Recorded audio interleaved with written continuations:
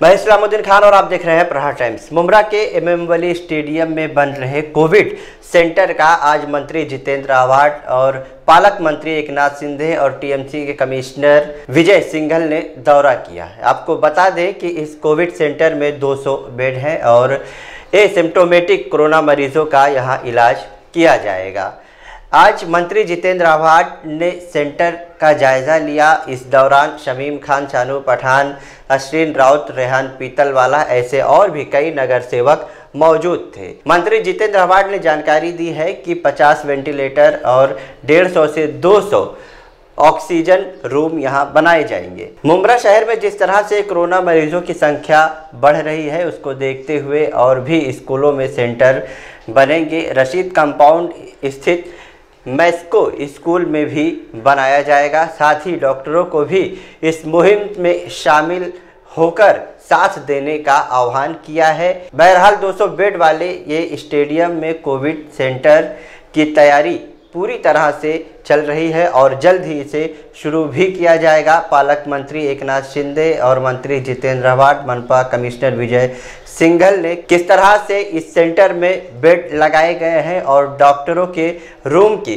व्यवस्था कैसी की गई है, इसका जायजा लिया। साथ ही मंत्री जितेंद्र आवाड ने अपने विरोधियों पर भी निशाना साधा, कहा कि हमने अस्सी हज़ार लोगों तक खाना पहुँचाया है कम्युनिटी किचन के ज़रिए और कुछ लोग हमारा ही राशन का किट लेकर उस पर अपना फ़ोटो लगाकर बेच रहे हैं। एक महीने में अस्पताल में भर्ती हुआ तो लोग गलत फ़ायदा उठाने लगे।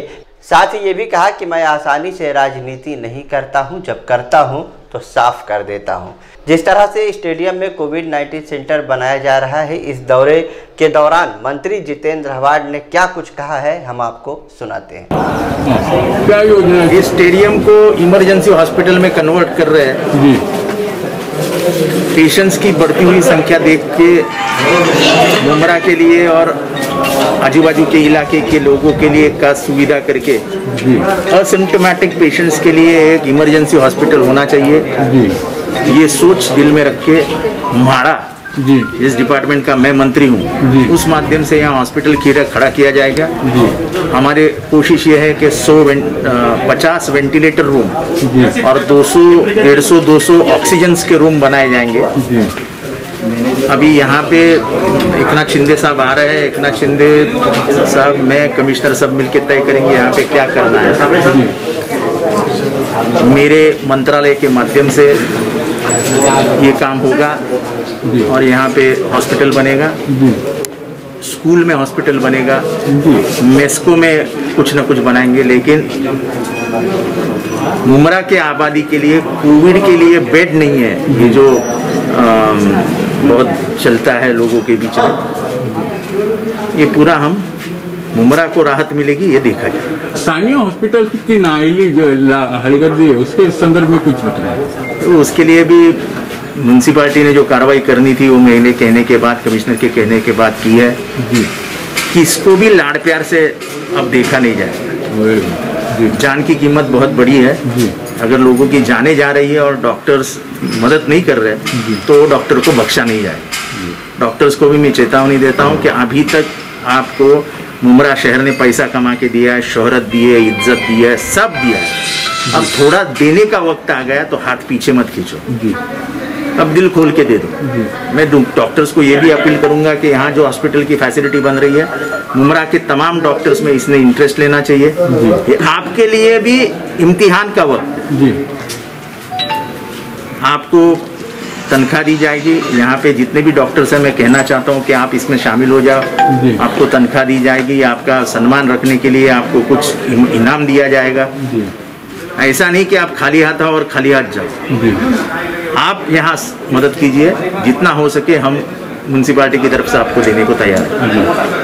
स्थानीय लोगों के लिए क्या संदेश देंगे? आप एक खतरा स्थानीय लोगों के लिए इतना ही बड़ी मुश्किल से निकले आप सर उधर बहुत परेशानी थी कोरोना के शिकार हो गए थे आप। उसके लिए बाद में लोगों को क्या संदेश देना चाहिए? शायद कोरोना का मैं क्यों शिकार हो गया ये मैं खुद लोगों को बताता हूँ कि मैं ज़्यादा शांतपत्ति करता। लोगों के बीच में घुस जाता ऐसा मत करिए भीड़ में मत जाइए।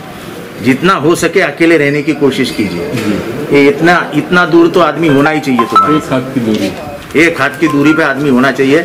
ये ऐसा एक हाथ पे दूरी पे आदमी होना चाहिए। ये सब करो तो कोरोना आपके नज़दीक भी नहीं है हाथ यहाँ से लेके वज़ू करते हो ज़ोर से करो। मुँह हाथ जितना हो सके उतनी बार धो। ये सब करना पड़ेगा लेकिन मुमरा के हालात देखते हुए या आपको मालूम है कि मुमरा में घर छोटे हैं। घर में रहने वालों की संख्या ज़्यादा है। जी। तो ये सब करने के लिए जो ज़रूरतमंद चीज़ें हैं वो मुमरा में नहीं है। जी। तो हमको इस बाजू से भी सोचना चाहिए कि मुमरा में हालात क्यों बिगड़े। बहुत ज़्यादा गरीबी है। जी। इसको आप नज़रअंदाज नहीं कर सकते। जी। उस जगह पे जाके आपको देखना पड़ेगा कि इनको क्या देने की ज़रूरत है। जी। और मुझे लगता है कि इस संख्या में थाना में पेशेंट बढ़े उस संख्या में मुमरा में नहीं बढ़े हैं। वो आप लोगों की ये तो वो तो मुमरा को बदनाम करने के लिए लोग कुछ टपे हुए रहते हैं। जैसे कि न्यूज़ चैनल। पूरे दुनिया में बाज़ार भरता है। कल्याण में बाज़ार भरता है दादर में बाज़ार भरता है सब जगह पर विले पार्ले में बाज़ार पर दिखाएँगे न्यूज़ मुमरा और हमारे मुमरा वाले भी है। हाँ। चार बजे लगा दिया कपड़े का मार्केट। हो गया टाइम्स नाउ की न्यूज़। तो अपने को भी जरा मर्यादा बरतनी चाहिए। सर यहाँ पे कोविड पेशेंट के लिए किस तरह के इंतज़ाम जैसे अभी ये 200 बेड का फैसिलिटी बन गया है। 200 बेड का फैसिलिटी बनने के बाद यहाँ 200 पेशेंट अब लग जाएँगे। अभी हमारी कोशिश है कि यहाँ पे ऑक्सीजन बेड लगाए जाए। अब हमारे इंजीनियर और हमारे सभी नगर सेवक जैसे शानू है रेहान है ये है ये, हमारी बहन है सब मेहनत कर रहे हैं। अपने अपनी जगह पे अभी मैंने जब काम शुरू किया था, तब हम अस्सी हज़ार लोगों को खाना खिला रहे थे। अस्सी हज़ार लोग। ये छोड़ो कि कुछ लोगों ने हमारे से ही किट ली है और दूसरे का फ़ोटो लगा के बेच रहे हैं। उसका हमें कोई दर्द है, ना कोई दुख है।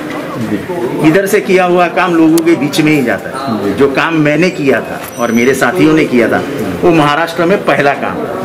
कम्युनिटी किचन ये महाराष्ट्र में पहला किसी ने आमदार ने शुरू किया था, उसका नाम जितेंद्र आवाड है कम्युनिटी क्लिनिक पूरे महाराष्ट्र में अगर पहली बार किसी ने शुरू किया था तो उसका नाम जितेंद्र आवाड। जो काम हमने करके दिखाया वो महाराष्ट्र में किसी ने शुरू भी नहीं किया था। अभी सबने शुरू किया।